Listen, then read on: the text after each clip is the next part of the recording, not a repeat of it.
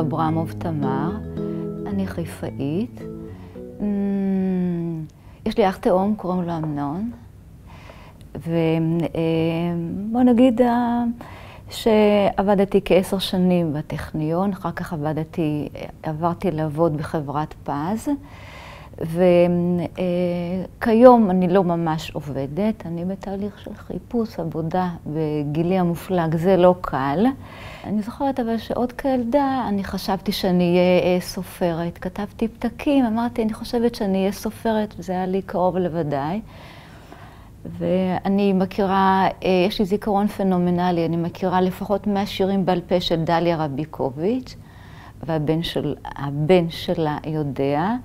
אני מכירה של המאורות הגדולים, אלתרמן, יהודה עמיחי.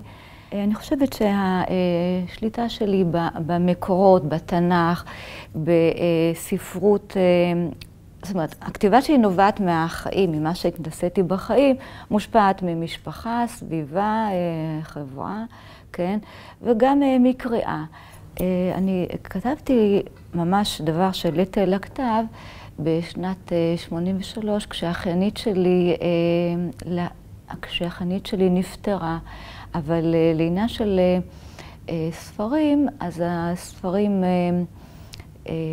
יצאו לאור כאן בהוצאת ספרים בתל אביב בשנת 93, והספר הבא אחריו בשנת 95. אני לא אוהבת לכתוב, אני כותבת מתוך צורך.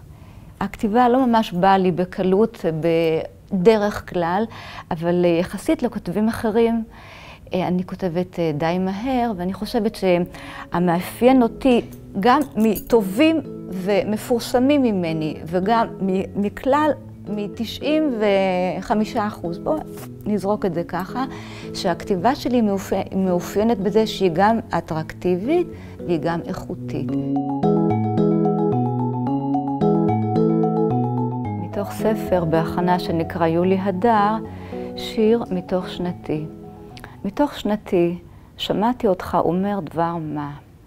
נמצאנו ראויים לחסד ההוא. מתוך שנתך אמרת דבר מה אל פני הכותנה. עוטף מצא הפוך את שהותך בנוצות בהירות. קראתי לך, אדוני, בין ארבע כנפות. קרוב לוודא שתהיה שושנת הרוחות בין סימני השורות. רבותיי, דבר מה אמר האיש ההוא מתוך שינה, שרוי בימים של חסד, שעל כן מכוננים בכישרון המלח. שיר נוסף מתוך הספר יולי הדר, שנקרא גב ים עד בת גלים.